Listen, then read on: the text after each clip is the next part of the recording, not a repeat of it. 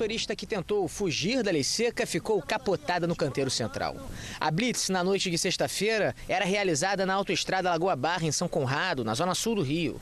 O teste do bafômetro indicou que Almir Filho Martins havia consumido bebida alcoólica. Antes de se acidentar, ele ainda bateu nesse carro e atropelou um policial militar que participava da fiscalização. Márcio Luiz Marmelo foi socorrido para o Hospital Miguel Couto, onde foi submetido a uma cirurgia para a amputação de uma das pernas. O quadro de saúde dele é estável. O atropelador está preso sob custódia e internado na mesma unidade de saúde. Oito blitzing da lei seca foram realizadas nessa sexta-feira depois da partida entre Brasil e Bélgica pela Copa do Mundo. Nos dias de jogos da seleção, a quantidade de motoristas flagrados dirigindo sob efeito de álcool saltou de 4,5% para 7,5%.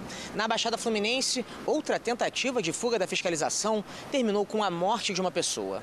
O caso aconteceu em Nova Iguaçu. Um policial militar que trabalha em uma unidade de polícia pacificadora tentou furar a blitz e acabou atingindo duas pessoas que estavam nessa moto. Uma delas morreu no local. A outra foi levada para o Hospital da Posse, onde foi operada e segue internada com quadro de saúde estável. O PM foi preso e a corregedoria da PM foi acionada. A Delegacia de Homicídios da Baixada Fluminense investiga o caso.